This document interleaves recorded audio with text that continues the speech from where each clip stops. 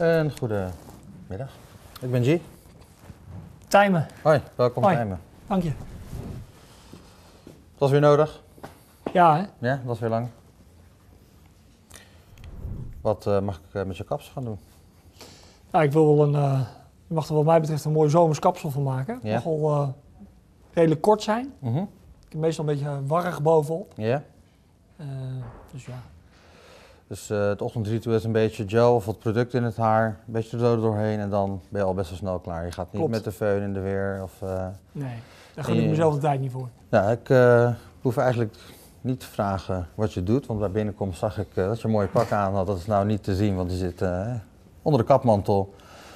Maar wat was het? Ik las staatsbosbeheer, Ja. eh, dus boswachter.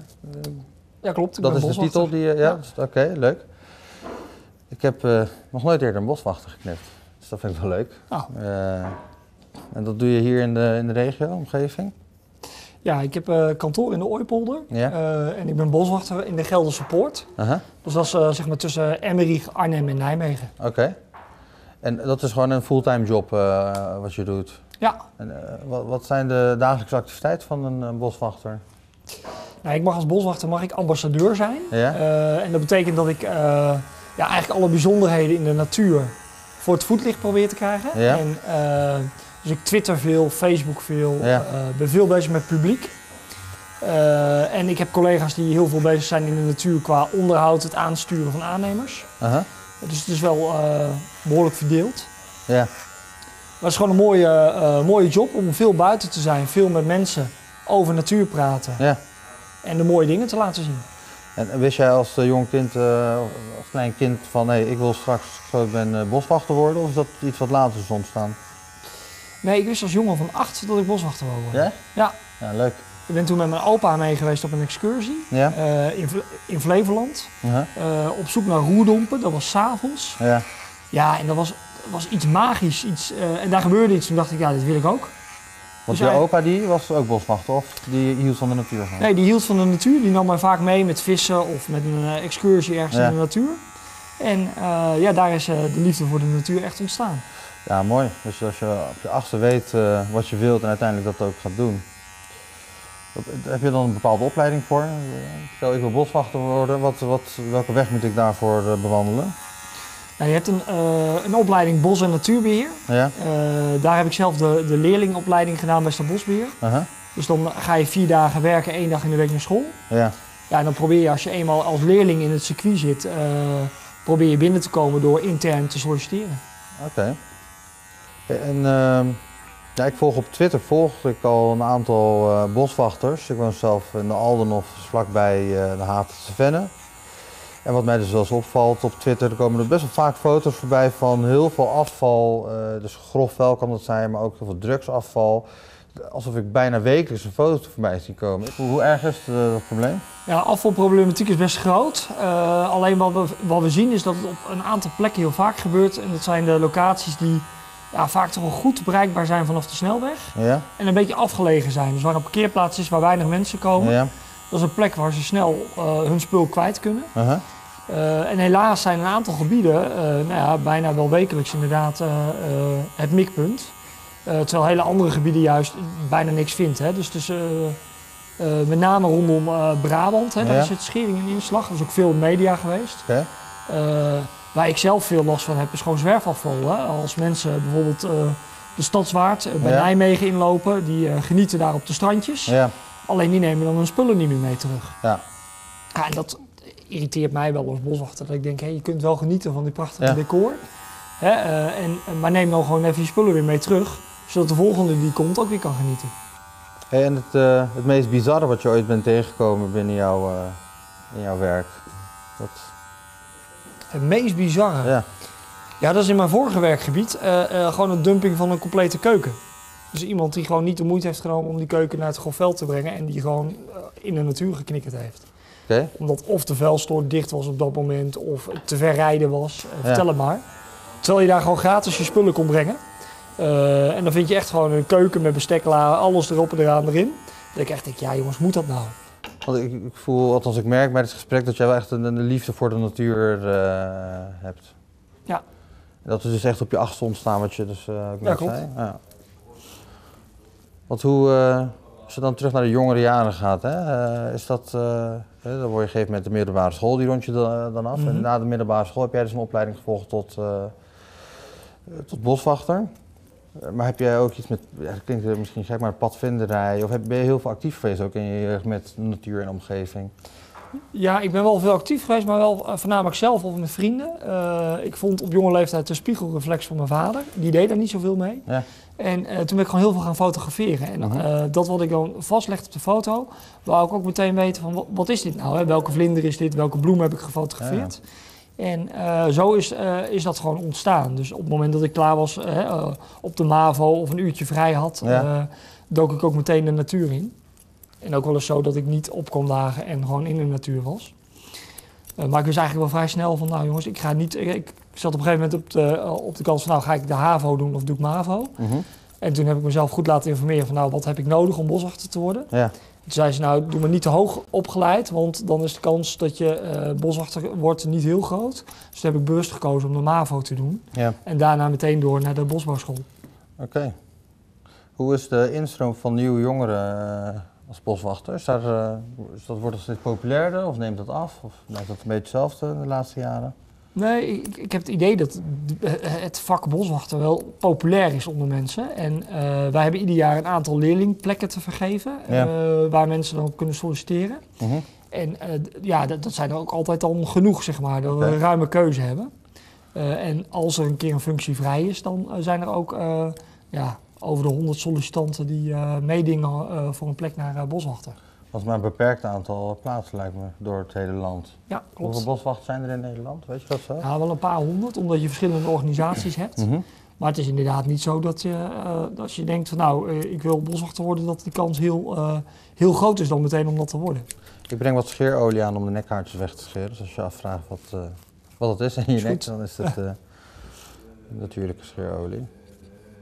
Ik zou niet weten uit welke. Dat staat er wel op. Misschien kan ik je kennis testen wat betreft eh, kruiden en bloemen. Die, eh, Ja. is dat aanwezig? Als jij zo door het bos loopt en je ziet eh, planten en, en bloemen, dat je ook de, alle namen daarvan weet? De meeste wel. Ja? Ja. En dat, vind ik ook, dat, vind ik- dat, dat triggert mij ook iedere keer als ik iets zie bloeien en ik weet niet wat het is. Om dan die, eigenlijk nog diezelfde dag wel te weten van nou, wat heb ik nou gezien? Maar ook wat is nou de rol van dat plantje of beestje of eh, bijtje in, in het geheel? Oké. Want ik vind op zich een bloem, hè, als een krokus begint te bloeien in het voorjaar, Ja. is heel leuk. Ja? Maar wat ik veel mooier vind, is om mensen dan te laten zien dat ook de eerste bijtjes wakker worden. En eh, van, van het eh, stuifmeel gaan profiteren. Ja. Het is gewoon een heel systeem wat wakker wordt en niet alleen het eerste bloemetje. Ja, dat is heel lastig, hè? hetgeen wat je in de media hoort over flora en fauna. Ook met de klimaatopwarming, dat is wel zeker aan de gang. Mhm. Merk jij dat zelf in de laatste paar jaar dat je je in de natuur bevindt, dat je zoiets hebt van nee, die klimaat, eh, de opwarming van de aarde, dat zie ik ook weer terug ergens in het bos? Of Ja. wel, ja? Ja, ja, ja. De soorten die in het bos voorkomen, als je kijkt naar vlinders of sprinkhanen, eh, dat, eh, er komen nu soorten voor die, nou ja, laten we zeggen, 20 jaar geleden rond de Middellandse Zee zaten. En die nu gewoon in, in Nederland kunnen bestaan. En dan hebben we het over een blauwvleugelsprinkhaan, dan hebben we het over eh eh, eh, koninginnenpaasje die eh, Ja. voorheen alleen maar echt in het uiterste puntje van Limburg gezien werd. Ja, die wordt nu gewoon waargenomen in de Millingenwaard. Maar gemiddeld dat- genomen is het dan in Nederland ook warmer geworden de Ja. laatste 20 jaar? En dan komen die vlinders gewoon wat, meer, wat Precies, noordelijker. die, die trekken wat hoger, die kunnen ook wel beter overleven omdat het warmer Ja. is. We zien ook dat vogelsoorten langer blijven plakken. Hè. Ooievaars trokken voorheen eh, naar, naar het zuiden. Maar met de wat zachtere winters zien we ook dat ooievaars gewoon blijven plakken. Ja. Dus we zullen de komende jaren steeds eh, meer diversiteit eh, krijgen eh, in Nederland wat betreft vogels, vlinders. Ja. Maar we zullen er ook een aantal verliezen. Hè. Dus dat is, de- dat is wel de keerzijde, zeg maar. Wat gaan we verliezen? Ja, er zijn een aantal soorten die, bijvoorbeeld een, een, grutto zien we steeds minder in Nederland. Dat heeft meerdere factoren hoor, ook vanwege grootschalige landbouw. Maar er zijn gewoon diersoorten die gewoon juist wat meer die kou nodig hebben. Eh, en die zullen eh, langzamerhand omhoog eh, verschuiven richting ja, Scandinavië. Waar, Ja. waar, waar die da- op da- daar een nieuw plekje gaan zoeken. En wat is nou een echte Nijmeegs bloem, diersoort, insect? Wat is nou echt typisch iets wat hier heel veel, veel in de omgeving voorkomt? Of is dat niet echt wel Ja, 1, dat, 2? dat is lastig. Ik denk dat de Nijmeegse natuur, als ik vanuit Nijmegen de, de, de, de Gelderse Poort inwandel, Ja. dan kom je hele mooie stroomdalflora tegen. Dat is bijzonder voor Nederland, eh, want dat eh, betekent, eh, er zijn rivierduintjes, er is zandafzetting in de Waal. En op die rivierduintjes groeien hele bijzondere planten. Noem zeepkruid, torenkruid, Ja. rozemarijn. Ehm, en daar komen weer eh, bijzondere vlindersoorten en insectensoorten op af. Mhm. Ja, dat kom je niet overal in Nederland tegen. En eh, ja, waar loop je in, eh, in Nederland een grote stad uit? Dan kom je heel veel bijzondere watervogels tegen, of een bever of een otter. Dat kan hier in Nijmegen. Ja. Hoe laat begint de werkdag voor jou? Ik begin meestal om 7 uur, En dan gaat dat door tot? Tot een uurtje of half vijf. Ja. Maar ook s'avonds en s'nachts zijn wij wel eens actief eh, als het gaat om eh, ja, eh, bijvoorbeeld zo'n eh, dumping eh, een keer op een hete daad proberen te, eh, te betrappen. Ja, dat, eh, maar goed, dan ben je, probeer je zo min mogelijk zichtbaar te zijn om eh, eh, iemand een keer op hete daad te betrappen. Kan het dan ook niet gevaarlijk zijn? Ik bedoel, als je van die jongens hebt die eh, drugsafval eh, ergens willen dumpen, en je, want dan, dan ben je niet in je eentje, neem ik aan, of? Nee, dat soort dingen doe je zeker niet alleen. Eh, en ook vaak gewoon in combinatie eh, met politie, Oh, Oké. eh, met de groene boa's. en op het moment dat je zoiets ziet, waarneemt, dan is het vaak een registratie van feiten en dan zorgen dat je backup krijgt. Ja. Maar ik heb het nog niet mee mogen maken dat ik iemand op hete daad heb kunnen betrappen. Hm. Oké. En een, misschien een stukje onontdekt Nijmegen, een stukje natuur, wat bij heel veel mensen nog onbekend is, maar wat zeker eh, door jou misschien te, aan te raden is. Ja, ik denk eh, eh, de Groenlanden, dat ligt strak naast de, de Bisonbaai. Ja. Dat is een stukje wat binnendijks ligt. Mhm. Daar kun je heerlijk struinen. Hè. Bij, in de uiterwaarden bij ons mag je gewoon overal lopen waar je wil. Ja. Eh, en ja, daar liggen gewoon hele mooie verscholen plekjes nog hoor. Die, eh, en een heel mooi uitkijkpunt waarbij je eh, prachtig over die eh, Nijmeegse natuur heen kijkt. ja. Maar goed, dan moet je houden van een stevige wandeling, want dan kun je gewoon uren ronddwalen. En ja, op dit moment kleurt het helemaal wit omdat alle sleedoorns bloeien. De Ah, chiftchaff die is terug uit Afrika en die zingt volbundig in die topjes. De Ja. Dat is een klein bruin zangvogeltje. Die is terugkomen vliegen en ja, die is nu volop aan het zingen. Het lijkt alsof er geen uitknop op zit. Ja, dat geeft toch wel echt een lentegevoel. Misschien een rare vraag. Kan jij ook eh, bepaalde vogels ook nadoen? Sommige die hebben die capaciteit, die kunnen echt eh, dat... eh, Nee, Ontzettend. Eh, Wat ik wel vaak doe, ik met een moderne boswachter pak gewoon mijn mobiele telefoon en dan laat ik het geluid horen. Oké. Ja, dat is net iets makkelijker dan het instuderen Ja. van al die Nee, precies. Geluiden. Jammer, dat was wel leuk Ja. geweest als... Nee, iedereen heeft zijn gaven en talenten, maar die, die ligt niet bij mij. Oké. Heb jij misschien nog een, een boodschap naar de Nijmegenaren die... ja, met betrekking tot de omgeving, de natuur, dat je zoiets hebt van... eh, misschien een goede tip of eh, misschien een bepaald eh, iets wat mensen doen wat eigenlijk niet goed is. Soms zie je ook dat er bijvoorbeeld iemand is met zijn tuin bezig en dan wordt de aarde die wordt dan gedumpt ergens in de natuur. Mhm. Kan dat kwaad? Ja, dat kan zeker, dat kan zeker kwaad, hè, want dat, dat hoort daar niet. En dat betekent dat de boel in de natuur weer, weer verruigt. Hè. Dus wat je dan vaak krijgt is brandnetel, distel Ja. eh, en braan.